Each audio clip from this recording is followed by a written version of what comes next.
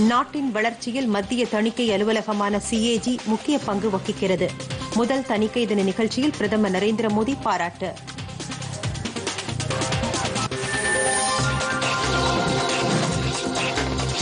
பருவநிலை மாற்றத்தை எதிர்கொள்வதில் பிரதமர் நரேந்திர மோடி தலைமையிலான அரசு மேற்கொண்டு வரும் முன் நடவடிக்கைகள் பாராட்டுக்குரியது.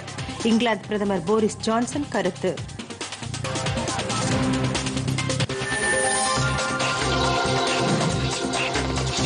மழை வெள்ளத்தால் பாதிக்கப்பட்ட விவசாயிகளுக்கு இழப்பீடாக ஹெக்டேர் ஒன்றுக்கு இருபதாயிரம் ரூபாய் வழங்கப்படும்.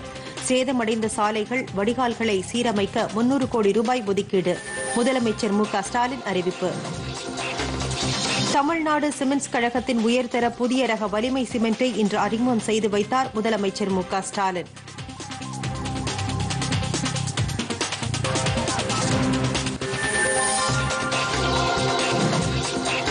தமிழகத்தில் பெரும்பாலான மாவட்டங்களில் நான்கு நாட்களுக்கு கனமழைக்கு வாய்ப்பு. சென்னையில் நவம்பர் பதினெட்டாம் தேதி ரெட் அலர்ட் விடுத்தது சென்னை வானிலை ஆய்வு மையம்.